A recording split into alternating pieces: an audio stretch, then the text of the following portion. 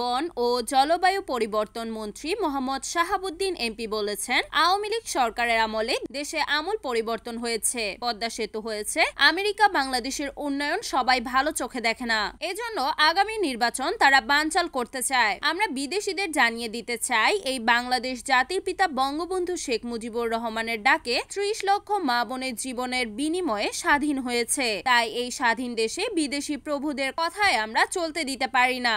পরিবেশ মন্ত্রী শুক্রবার বিকেলে মৌলভীবাজারের বড়লেখা উপজেলা আওয়ামী লীগের উদ্যোগে বিএনপি জামায়াতের অগ্নিসন্ত্রাস ও নৈরাজ্যের প্রতিবাদে আয়োজিত শান্তি ও উন্নয়ন সমাবেশে প্রধান অতিথির বক্তব্যে এসব কথা বলেন। মন্ত্রী বিএনপি জামায়াতকে উদ্দেশ্য করে বলেন, উনিশশো ছিয়ানব্বই সালের পনেরো ফেব্রুয়ারি বিএনপি নির্বাচন করেছিল।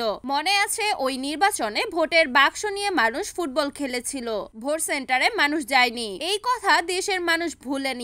তাই জীবন থাকে, আমরা আগামী নির্বাচন কোনো অবস্থাতেই বানচাল করতে দিব না। বড়লেখা পৌর শহরের দক্ষিণ বাজার এলাকায় অনুষ্ঠিত সমাবেশে উপজেলা আওয়ামী লীগের সহ সভাপতি মোহাম্মদ সিরাজ উদ্দিনের সভাপতিত্বে ও সাধারণ সম্পাদক রফিকুল ইসলাম সুন্দরের সঞ্চালনায় অন্যদের মধ্যে বক্তব্য দেন উপজেলা আওয়ামী লীগের যুগ্ম সাধারণ সম্পাদক বিবেকানন্দ দাস নান্টু, অধ্যক্ষ A K M Helal Uddin, সাংগঠনিক সম্পাদক পৌর মেয়র আবুল ইমাম মোহাম্মদ কামরান চৌধুরী উপজেলা চেয়ারম্যান শোয়েব আহমেদ, কৃষি ও সমবায় বিষয়ক সম্পাদক নিয়াজ উদ্দিন উপজেলা কৃষক লীগের সভাপতি আব্দুল লতিফ, সাধারণ সম্পাদক ইকবাল হোসেন স্বপন, উপজেলা যুবলীগের সাবেক সভাপতি মকবুল হোসেন নীল, জেলা পরিষদের সাবেক সদস্য হামিদুর রহমান শিপুল, উপজেলা যুবলীগের সভাপতি ভাইস চেয়ারম্যান তাজউদ্দিন, জুড়ি উপজেলা পরিষদের ভাইস চেয়ারম্যান রিঙ্কু রঞ্জন দাস, বড়লেখা উপজেলা যুবলীগের সাধারণ সম্পাদক কামাল হোসেন, উপজেলা স্বেচ্ছাসেবক লীগের সভাপতি অ্যাডভোকেট জিল্লুর রহমান,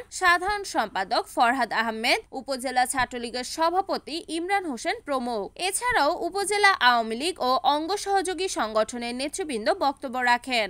আজকে বাংলাদেশের পদ্মা ব্রিজ হয়েছে, যেটা আমেরিকা ভালো চোখে দেখে না, এই বিদেশিরা ভালো চোখে দেখে না, বিএনপি জামাত ভালো চোখে দেখে না সেই জন্য আগামী নির্বাচনকে বানচাল করতে চায়।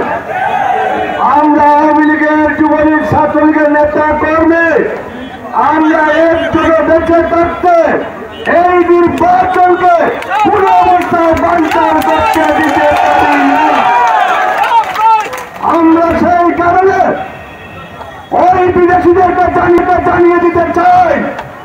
এই বাংলাদেশ, স্বাধীন বাংলাদেশ, জাতির পিতা বঙ্গবন্ধু ডাকে ত্রিশ লক্ষ মানুষ তাদের জীবন দিয়ে দু লক্ষ বাবুন তাদের ইজ্জত দিয়ে বীর মুক্তিযুদ্ধ ভাইরা নয় মাস যুদ্ধ করে এই দেশ দেশকে আজকে ওই বিদেশি প্রভুদের কথায় আমরা চলতে দিতে পারি না।